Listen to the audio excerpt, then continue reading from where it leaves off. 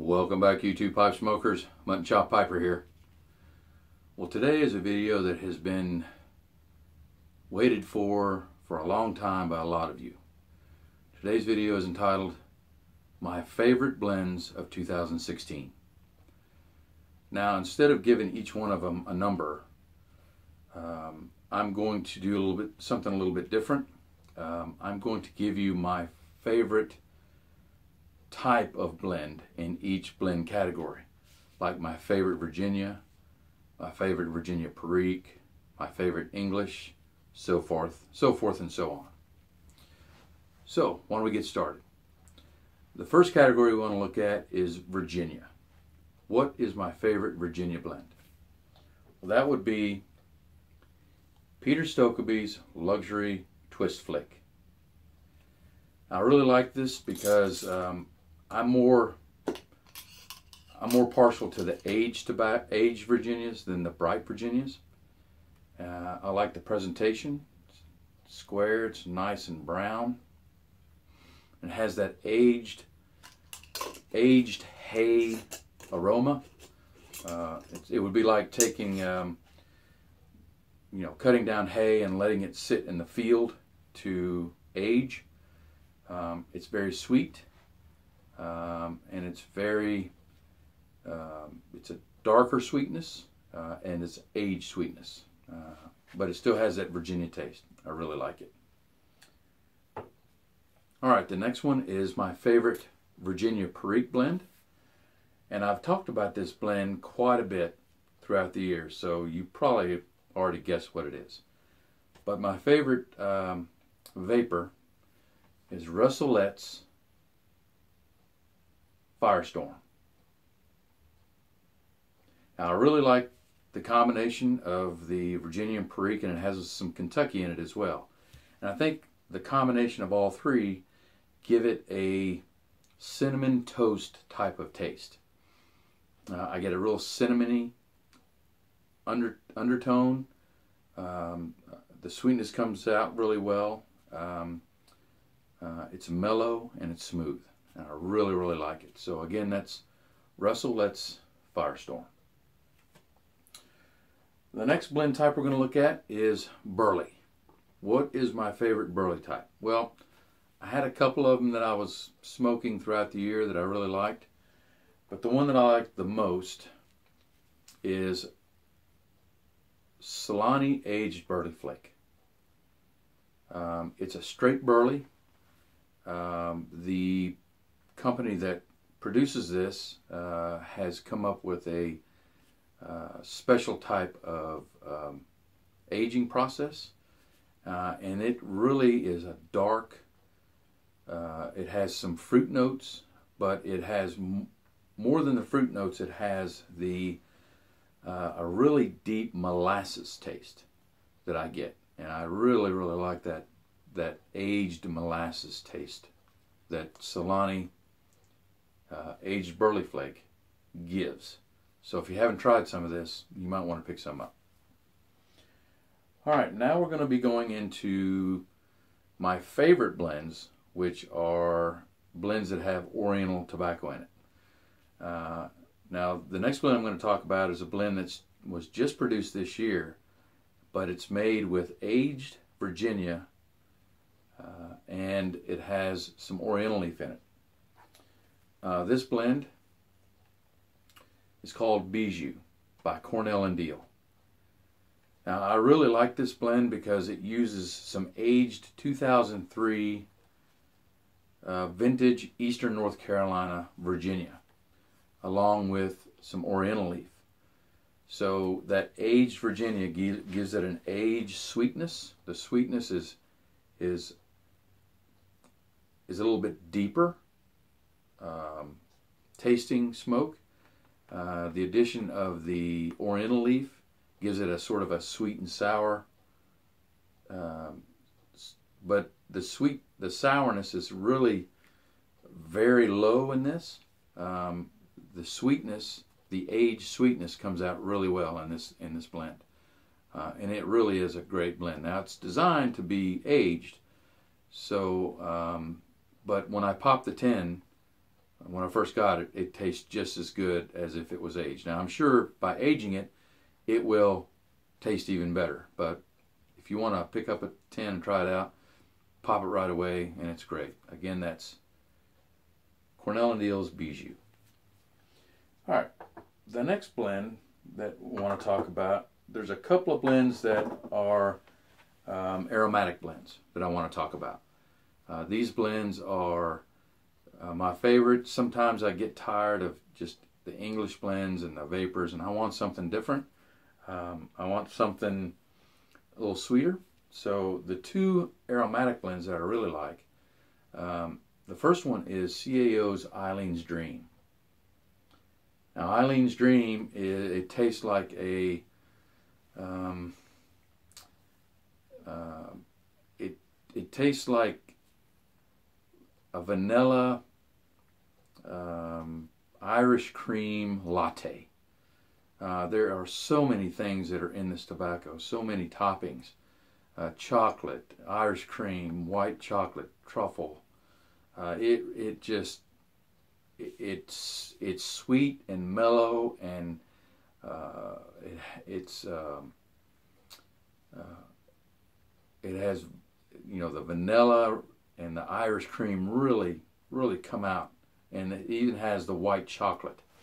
Um, it just really is a, a fantastic aromatic smoke. Uh, so this is one to pick up if you haven't tried it. The next one I want to go tell you about is another one that is I haven't heard talked about quite a bit, and um, I really enjoy it. It's really a great, a great aromatic smoke. It's Drew Estates Central Park Stroll.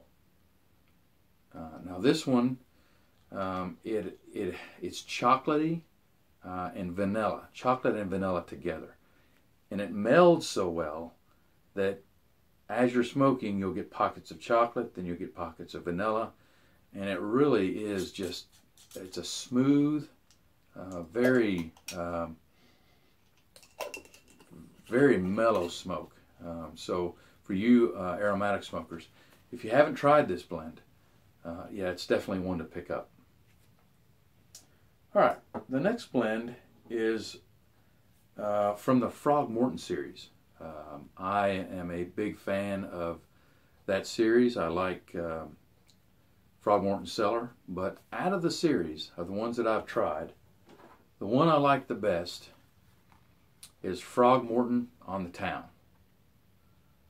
Now this has got some very nice um, it's got a little bit of Latakia. It has uh, Virginias and it has um, some Oriental leaf.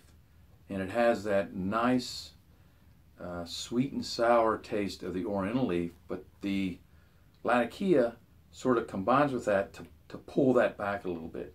It's smoky, uh, sweet, and sour, but it really is a, a fantastic smoke. Uh, it's one of my favorites. And again, that one is Frog-Morton on the town. Now the next next one I'm going to talk to you about is one that is pretty hard to get. It's hard to locate. Uh, they don't get a lot of it in. Um, but in my opinion, it's a superior taste. It's a superior tobacco to the tobacco that is more well known than this one. The tobacco I'm going to talk to you about is Esoterica Tabacchiana's Stonehaven. Now, the other tobacco that this company make is, makes is called Penzance. That one is also is a very difficult one to get to, uh, to get a hold of. Stonehaven is the same way. But I like Stonehaven a little bit better than I do uh, the Penzance. Stonehaven for me is sweeter. Uh, it is very dark. It's a very deep, dark, molasses, mapley, smooth, sweet uh, tobacco. It uh, once you rub it out, I would suggest that you let it dry out some. But for me, that molasses and maple, uh, a little bit of vanilla, uh, sweet taste of this tobacco is just uh, for me, I enjoy it a lot better than I do the Penzance. All right, the next tobacco I'm going to talk to you about is another Oriental forward English blend. But this tobacco has about six or seven different ingredients in the tobacco, and it is absolutely fantastic. It's one of my favorites. It's been around since 2007, and it's hailed as probably one of the best blends ever ever made. Uh, and that one is Seattle Pipe Club's Plum Pudding. Now I never, I didn't try this right away. Uh, this is a latecomer to to my game at least. Uh, but once I did, I was just blown away. Um, it's an English Balkan uh, pressed tobacco. Um, it's got Orientals, Virginia, Perique, Black Cavendish, and Latakia. So it's really fun to be able to fill your pipe with this and kind of work out the taste you're getting. Okay, I'm getting some Cavendish here, some Latakia there, some Oriental leaf here. So it's kind of a fun tobacco to smoke. Really fantastic. Now the last tobacco I want to talk to you about is one that's similar to plum pudding in taste. Um, it has that same sweet and sour type of smoky taste, uh, sweetness to it. Um, but I don't know if a lot of people either they don't like this blend or they haven't really heard of it that much. Uh, but this blend that I'm talking about is GL Pease Maltese Falcon. Now Maltese Falcon, again, it's an Oriental Forward English blend. Has Latakia, has uh, Oriental Leaf, um, and it has Virginias. But it's just as just as complex for me, and to my palate, as uh, the plum pudding is. Um, it, it has that sweet sour. Um, now, when I talk to you about sweet and sour, to give you an idea of what I'm talking about, the sweet and sour taste is on the same line as orange juice. When you drink orange juice, there's that sour, but it's but it's more sweet than sour, so you tend to want to drink more of it. That's the same thing with the Maltese Falcon or with the sweet and sour that I'm talking about of Oriental Leaf. There's more sweetness than sour, so you, you want to continue to smoke it. Um, and I really enjoy uh, Maltese Falcon in that in that way. All right, so now you want to know what is my desert island blend. Now, what do I mean by desert island blend? Well, if I was dropped onto a desert island and I was given five pipes and told I could only smoke one tobacco, which tobacco would that be? Well, there was a competition between the two plum pudding Maltese Falcon. Throughout the year, I, I get kind of hooked on plum pudding, and then that would fall, and I get hooked on the Maltese Falcon. So there was a fight going on. Which one was gonna? Which one was it gonna be? Plum pudding or the Maltese Falcon? Well, it was the Maltese Falcon. I don't know, there's something about this blend that maybe the way it's manufactured, maybe the way it's put together, uh, but I really enjoy uh, the sweetness and the the complexity of this blend. It really it really is a fantastic uh, blend to kind of to kind of figure out. So uh, again, my favorite blend of 2016 is Maltese Falcon. Now, I wanted to talk to you a little bit before I got, before I let you go. Uh, kind of apologize to those guys, you guys in Europe. I know that you can't hardly get any tobacco.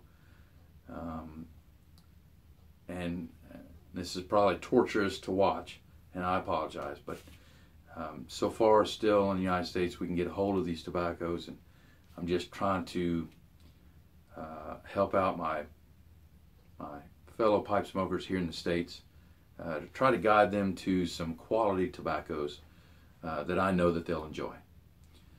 All right, well that's it for this video. Uh, until my next video, um, I hope that you learned something. I hope you enjoyed it. And until next time, I want to wish you and your family happy piping.